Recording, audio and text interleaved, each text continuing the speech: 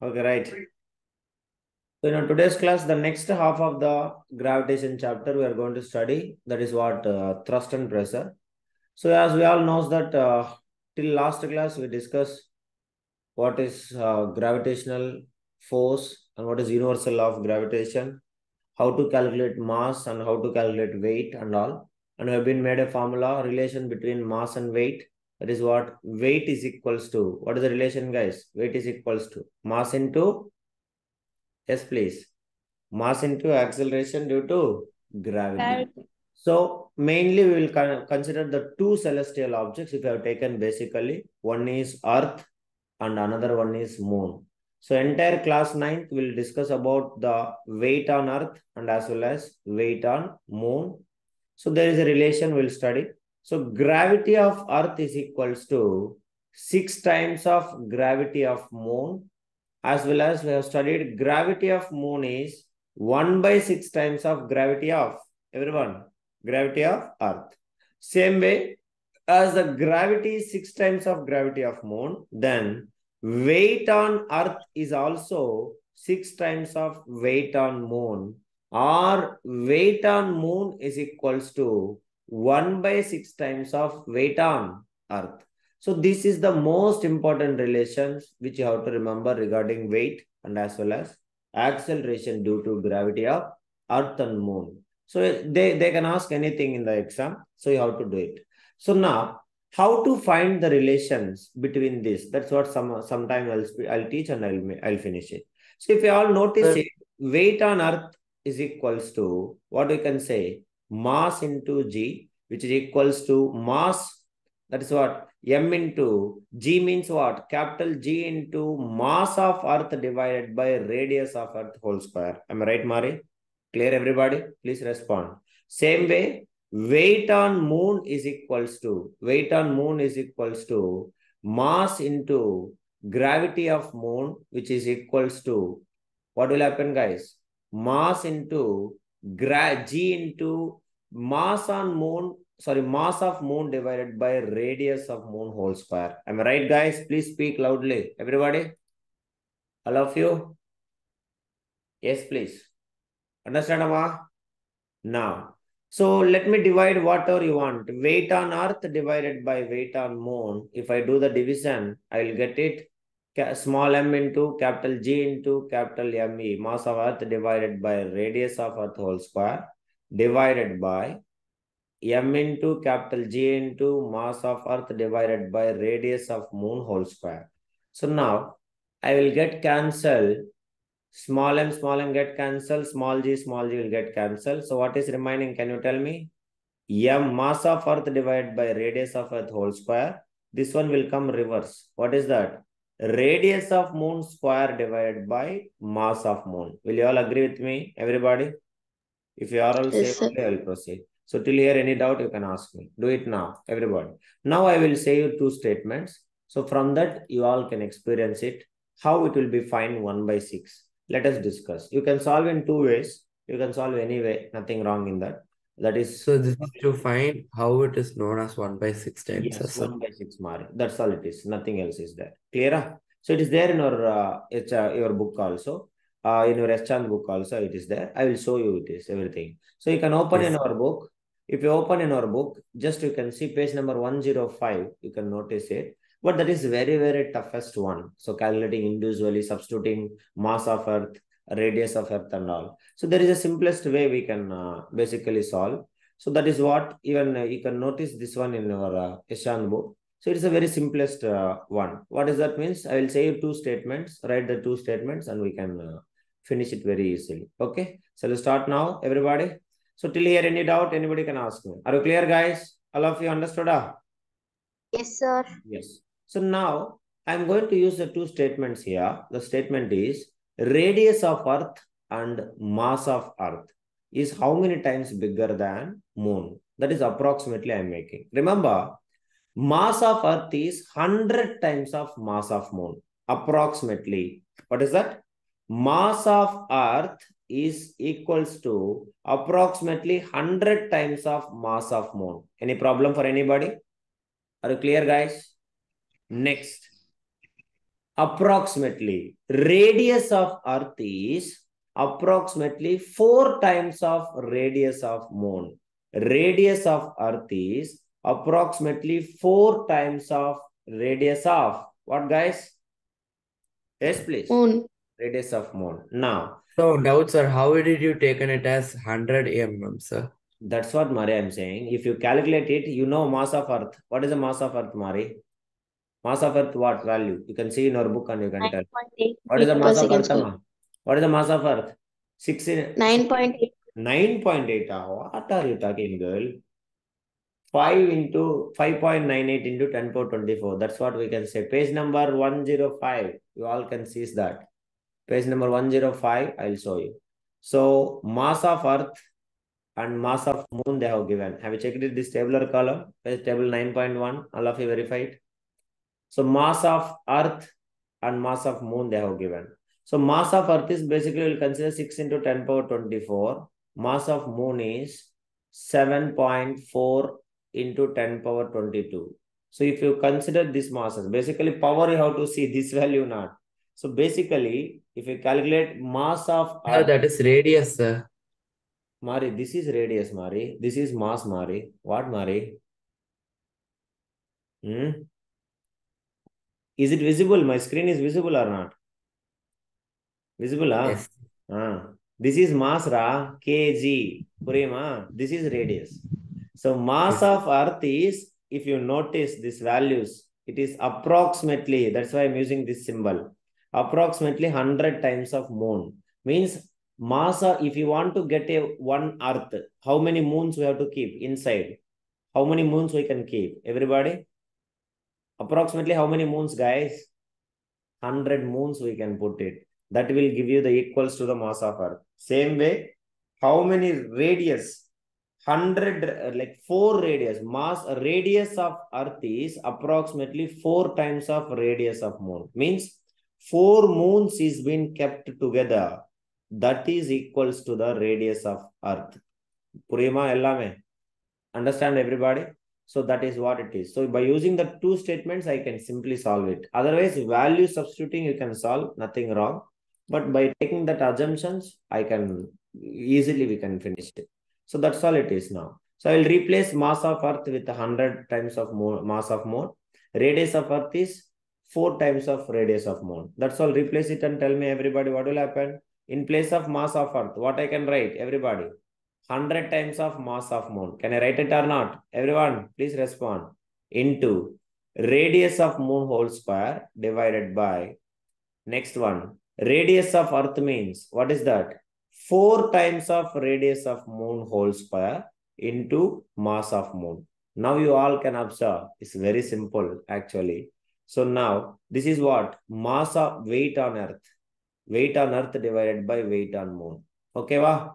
Now you can see mass of earth and mass of earth will get cancelled. What is remaining? 100 into radius of moon whole square divided by this 4 square. 4 square means how much, guys? 4 square means how much, Ra? 16 16. 16 radius of moon whole square. So again, what will cancel, Agalya? Radius of moon, radius of moon get cancelled. So what is remaining? Weight on Earth divided by weight on Moon is equals to 100 divided by 16. Can you tell me what table I can simplify it? Anybody? Yes, please. Adi Teriyada. Adi Teriyada means what I can. Four tables. Yes. Four tables. Yeah, approximately we can make four times a Day, four times a approximately. Solungara. 16 5 how much? 16 6 how much? Ra? You can do with the two table also if you are that much lessons means. Okay. So if you have that much difficulty, let us go with the two eights ah, two fifties ah. Next one, two fours ah, two twenty fives ah. So 25 by 4. 25 by 4, any other possibilities is there? Anybody? 6.25 Yeah. So that is what. So approximately we'll get it. Understanding? 1 by 6, uh, sorry, 6 times it will come. So 6 times of 6 times it will come or we can say 6 by 1. So weight of earth divided by weight of moon is equals to 6 by 1. So I will take weight on earth is equals to 6 times of weight on moon. That is the answer. Purima, If you take reverse, you will get it. Listen. Weight on moon divided by weight on earth. If you solve it, you will get approximately 1 by 6. So means weight on moon is equals to what? 1 by 6 times of weight on earth. That's all. So that is how you have to solve the relation. Are you clear, everybody? All of you understand, Amma? Okay, Mari? Mukesh? Yes, sir. So please make it. Anything doubt, you can ask me.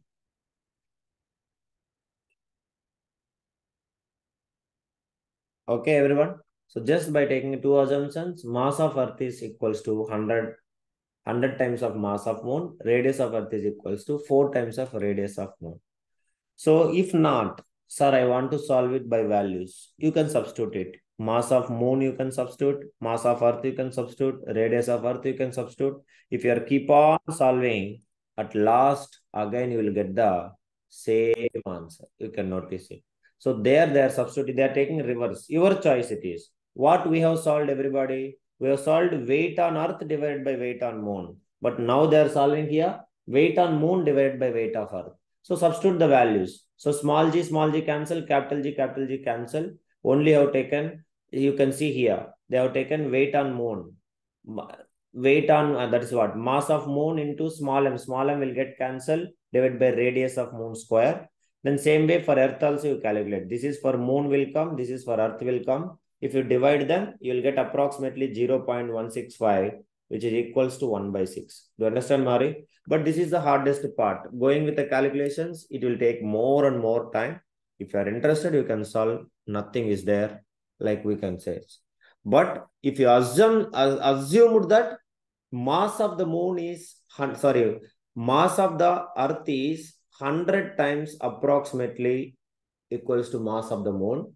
Radius of the earth is approximately 4 times of radius of moon. Without any calculations, this all you can directly will get approximately 1 by 6 times. That's all it is. But keep it in mind, the ratio if you are taking, here they are taking weight on moon divided by weight on earth. So that you will get ratio 1 by 6. If I choose weight on earth divided by weight on moon, I will get what guys?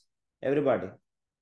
What I will get? Please respond. 6 by 1 will come. Okay. So that is what you have to remember. Because what is the relation? Weight on earth is equals to 6 times of weight on moon or weight on moon is equals to 1 by 6 times of weight on earth. This is what I want to teach you. So most important one. So kindly focus it. Anything doubt, you can ask me. Please uh, do it. Any doubt, guys?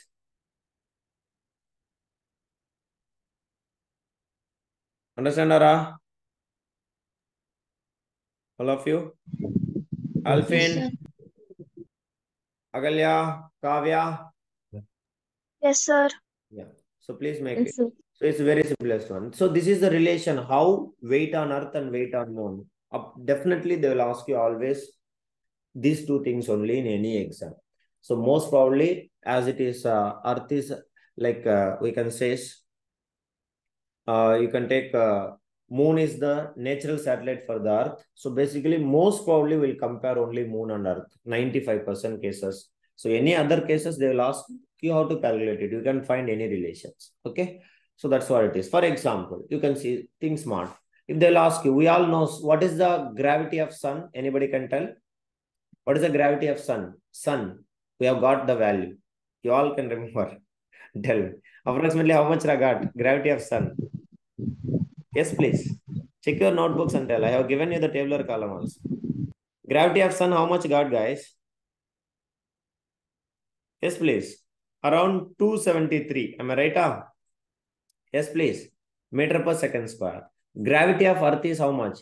Approximately you can take 10. So then, if you want to find the ratios, gravity of sun is equals to approximately how many times? How many times bigger than gravity of earth? You want to get 273 into 10. How many times you have to multiply? Everybody? To get the gravity of sun. అది తెలియదా ఎలా ఇది It's 20. Yeah. 27 times. 27 times approximately how to divide. That's what. So 27 times of gravity of earth. That is relation. Our gravity of earth is approximately how many times? 21 by 27 times of gravity of sun. Purima, like that, if you know the gravities, you can find anything. And weight also same. Weight on sun is equals to approximately how many times more than that? Everybody. 27 times more than weight on earth. Purima, then weight on earth is equals to 1 by 27 times of weight on sun. So every relation is same. If you find, if you know the gravities, always the relations are very similar things. Understand Arasani, Hasani, Mr. Lingesh, Laksha? That is what it is. Any planets you can take. I have given you the tabular column. So any planet you can take in the similar way and you can calculate it. Any doubt, anybody can ask me. Mr. Sanjay, clear? ah? Hari, doubt? No, sir. So they can ask in anything, but your level, ninth class level, they'll ask you only moon and earth. So you can do it. So this is all about the mass and weight concept. Based upon this, definitely there will be a numericals. Every exam, whatever the exam, will be having the numericals. Now we are going to start the next concept. That is what the most important concept. That is only called as thrust and pressure. So what do you mean by this thrust and pressure? Basically, eighth class you will you might be studied force and pressure. Do you remember everybody? You might be studied the force and pressure. Everybody? Yes, sir. So that force and pressure only, we used to call it as here thrust and pressure. Okay. So exactly like force and pressure. Force is thrust is a kind of force. That's all it is. Nothing else is there. So let us discuss. So under this, under the foundation class, it will be we used to call this entire thing, we used to say hydrostatics hydrostatics because we are going to study properties of liquids and gases. So that is why we are main concentration is liquids and gases only. Means the pressure exerted by liquids, the force exerted by liquids, or the force exerted by gases, or the pressure exerted by gases. Extremely important concept for 11th physics second volume 2 it will get properties of matter. You will study in the 11th class physics again. So this is the basic thing you will study here. So then it will be goes to extremely deeper in the class 11 so hydrostatistics please write it. So before beginning this chapter you all should remember whatever you studied about in 8th class atmospheric pressure. Do you remember atmospheric pressure everybody? Yes mari and those who are my old students, many of you are Agalya, Mari, Sanjay, you all people knows. I used to taught you, you might be remember that uh, liquid pressure, law of liquid pressure called as Pascal's laws, or else even your school also you might be studied. So properties of liquid pressure, properties of liquid pressure, you might be studied. When you are going deeper into the liquid, pressure increases. At a given depth, pressure is distributed uniformly in all the directions. These are all the things you might be studied. Do you remember everybody? Are you trying to remember? Everyone? So that is only ways to say law of liquid pressure. Of course, again, I will teach you, which we used to call as Pascal's law. So we are going to discuss that. Even eighth class, I think I have taught already for them derivation also. That's fine. We again will study. So the main thing we are going to discuss here what is the important of this chapter if you are completing this thrust and pressure? Remember about the solid pressure we'll discuss only very few things. After that the entire concept is running behind the fluids. This fluids means what? Fluids means only example everybody liquids and gases are called as fluids. Who can flow easily? The substances which can flow easily is called as fluids. So in this entire chapter, hydrostatistics, I'm neglecting the solids pressure, pressure exerted by solids. Just I'm talking about the hydrostatistics. We'll understand how the pressure varies with the height of a fluid column. That's what I said. Class 8, what you studied, the similar thing. How the pressure varies. Like suppose you are in a ocean. I am I am swimming at this point and I swimming at this point. I am swimming at this point. How the pressure varies from one point to another point and what is the principle behind it what is the construction and working of atmospheric pressure device what is the device we used to say atmospheric pressure we used to measure with uh, anybody Atmospheric pressure is measured with a barometer. అది తెలియదు liquid pressure is measured with ninth eighth class what you studied nothing studied sir liquid pressure is measured with what anybody manometer. Okay. So we will study the principal construction and working of this manometer and different barometers, types of barometers which we'll use to measure. Barometer is to measure what? Everybody. Atmospheric pressure. Atmospheric pressure. The most important chapter concept in 11th class physics. Please remember part 2, volume 2, it will come. Next, we'll study, as I said, at a given depth for example in a 100 meter depth from the surface all the ninth class boys are swimming now. So everybody will experience the same pressure in every direction. That is the law we used to called as. At a given depth pressure is distributed uniformly in all the directions. That is what we used to called as what law used to say? Pascal's law. Okay? We'll discuss that and what is the applications of this pascal's laws? Hydraulic press. You all know car washing and all. If you go hydraulic press will be there. What is the importance of hydraulic press? Hydraulic brakes. That is all we'll discuss. And what is the most important thing is archimedes principle. That is the main thing which you will carry from class 9th to class 11 that is what we used to called as this one archimedes principle every boat every streamlined bodies in the water. Water water transportation completely will be designed only based upon the archimedes principle. And what is law of flotation? Archimedes principle law of flotation and their real life applications.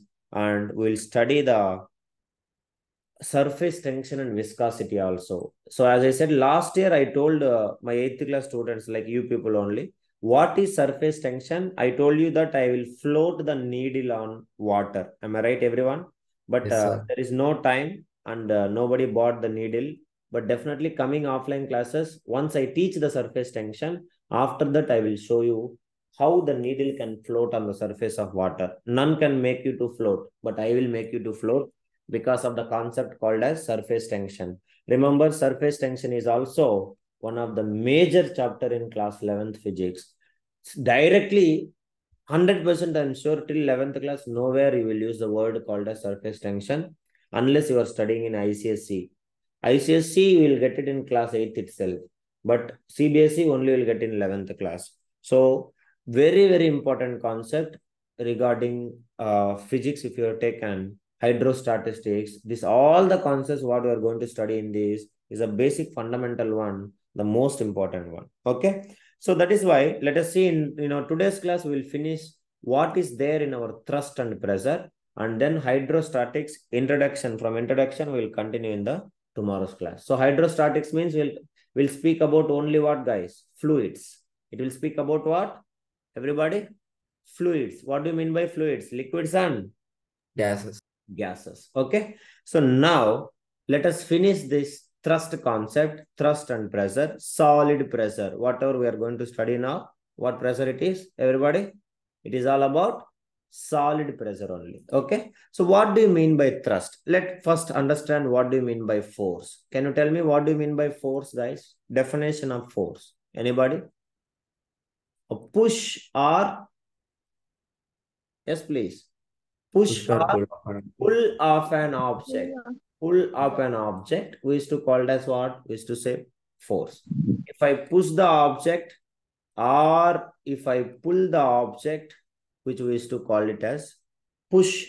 This is push and this is a pull which we used to say force. Now so you can notice it. If i am having for example there is a random body all of you observe it's a surface two dimensional one now I can apply the force like this. I can apply the force like this. I can apply the force like this. I can apply the force like this. Any direction I can apply. So this is what we used to called as force. If I am exerting the force, force can be applied on a body in any direction. That is what we used to called as force. And force can causes effects of forces. You might be studied in 8th class and ninth class also. Chapter number 2, force and laws of motion we studied. Totally how many effects we studied guys? Anybody remember? Five. Five effects Five. studied. So force can be applied in any direction. Now, this force can only applied perpendicularly to the surface, normal to the surface. All of you hold your pen perpendicularly on your ground, on your bench. Everybody, perpendicularly means Therima, Elame. What do you mean by perpendicular? Kavya, just put right your pen needle. Right angle. Yeah, right angle on your surface. So any kind of surface, this is actually two-dimensional one. If I taken a random body, if I apply the perpendicular force on a surface, perpendicularly or normal to the surface, normal to the surface or perpendicular to the surface. Perpendicular perpendicular to the surface. That force we is to called as thrust. Please remember capital t. Understanding? The perpendicular force which is exerting on the surface is only called as what? Everybody? Please respond. Thrust. thrust. Purima perpendicularly to the surface of the like any force which is exerting perpendicularly to the surface. So suppose if you are walking on the sand now you tell me is it call it as a thrust or not? If you are walking on a sand sand or surface is it walking is it respond everybody. Is it Yes, sir. Because you are walking on the ground. If this is the ground you are walking perpendicularly. So your your force is exerting like this this is the ground and your force is exerting so that this is called as what? Thrust or not? All of you respond. That is what we used to call as thrust. So any force we apply force perpendicularly to the surface of the surface. Then that is called as what is to call everybody we used to call it as thrust or normal normal to the surface which we used to call it as thrust sir why can't we exert? Then bottom sir that is different guys. That we'll study again. If the perpendicular force exerting from bottom basically it will be liquids will exert. Solid cannot be. So that is called as buoyant force which we'll study in the later class. Okay? So this is what we used to called as thrust. Any problem for anybody? I hope you all understand thrust means. Agalya yes? So now Yes, sir. this thrust let us write everybody. Definition you write thrust is defined as the force acting on a body force acting on a body force acting on a body force acting on a body sangamitra are you understanding sangamitra force acting on a body normal normal also we can call it another word what is another word of normal everybody Perpendicular. perpendicular to its surface perpendicular to its surface is called is called thrust. So what is the unit of thrust? Anybody can tell. What is the SI unit of thrust? What is what you are expecting? It is a force. So what is the SI unit of thrust? Everybody same Newton. newton only. Understanding amma? So force and thrust both are same. Newton. And what is the CGS unit? Same. It is what? Dyne. So 1 newton is equals to 10 power 5 dynes. So please note it. Everybody clear understanding? All of you? Now this thrust is also we can express in gravitational unit. Please note this is the most important for you. That is what we used to call it as kilogram weight. Because we all knows that force is equals to weight. Am i right? Understand ah? please Sir, listen. then we keep it as uh, yes. kg meter per second square, sir. No, no, no, no. Kilogram weight, I said, not kilogram. Understanding? So, as I said, what is the unit of forces? Anybody can tell? What is the unit of forces? Newtons and kgf. Am I taught you or not? Kilogram force. Everybody? Yes or no? Yes, sir. Yes, that's what it is. Force is equals to weight. That is only we can say. So this is called as gravitational unit. Please note it. This is the SI unit of thrust. Gravitational unit thrust, write it, everybody. Thrust is also expressed in, these all are very fundamentals. Please note it. Thrust is also expressed in, in gravitational unit. Gravitational unit. Units. Gravitational units called kg. Remember kg side by side you have to write and small wt subscript you have to write it. Call it as kilogram weight. What is to call everyone? Kilogram weight or we can say kgf. kgf. What do you mean by kgf? Kilogram. Force. Okay, everyone? Both are same. Remember that. kg, kilogram weight or kilogram force. Both are same. 1 kg kilogram weight is equals to, please note it, 9.8 newtons. Or we can say 1 kgf is equals to also 9.8 newtons. Please note it. Relation, the most important relation. Anywhere, anybody having? Ask me that. Okay, wa? Same way. CGS unit is another gravitation is GF. GF means what? Anybody can tell? Gram force. Or we can say gram weight. G GWT, which is equals to 980 dynes. Very, very important relations. Extremely important for your uh, general knowledge and general awareness skills and all. Soon you will experience the importance of this, all the things in our daily life. Okay. So I'm assuring you that you can experience it also. The day will come, you can seize that. So I hope you all are working. Everybody understand, Amma? All of you? Yes. Yes? Everybody? Yes, sir. Note it. Very, very important. Physics means conversions. Physics means units. Physics means nature. Everything you need to study. Please learn. Everything is always important.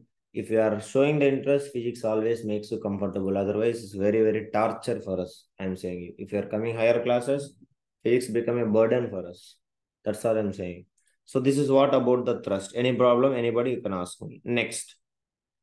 Thrust we are going to study indirectly i'm saying you solid pressure i'm i'm saying you heading call it as a pressure whenever i say pressure automatically we are studying what is about solid pressure if it is a liquid pressure 100% i will use a word called it as a what liquid if it is a gaseous pressure definitely i will use a word called as gaseous pressure or i will use a word called as fluid pressure but pressure, solid pressure, it is not necessary to use a word called as solid.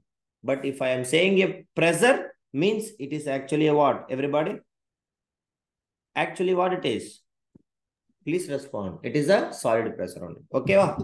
What is pressure? Mr. Mukesh, are you writing? So make it everyone. Pressure means force exerted, force exerting force exerting per unit area unit area is only called as pressure force exerting per unit area but here we are not supposed to use a force. What is the word we have to use it? Because we studied not force we studied what? Thrust. Do you understand everyone? All of you? Respond ra yes? So force or thrust whatever it is both are same. Force or thrust exerting exerting per unit area is called is called pressure. So write it the force or thrust exerted per unit area exerting or exerted per unit area is called pressure so pressure p is equals to pressure p is equals to thrust by area so what is the symbol for thrust? Do you, are you thinking T? What is the symbol for thrust? Anybody? Thrust symbol. Anyone? Thrust is a what, guys? Thrust is a force only. Am I right or wrong? Yes, sir. Yes, that's what. Thrust or force, both are same. But we are choosing a particular word for the thrust. What is the meaning of thrust? if the force exerting only perpendicularly to the surface or only normal to the surface, then that force only we used to consider as a what? Everybody? We used to call it as a thrust. That's all. Nothing else is there. Understanding? So meeting is going to end. Join back and we'll continue from here. Any doubt? Anybody can ask me. Arasni, understand Arasni? Abrami? Yeah, please. Mr. Yes, sir. Gokul, this much late joining, carelessness, very, very bad, Gokul. This is. That's why your life is not changing, Gokul. Extremely bad. I'm saying you correct. There is no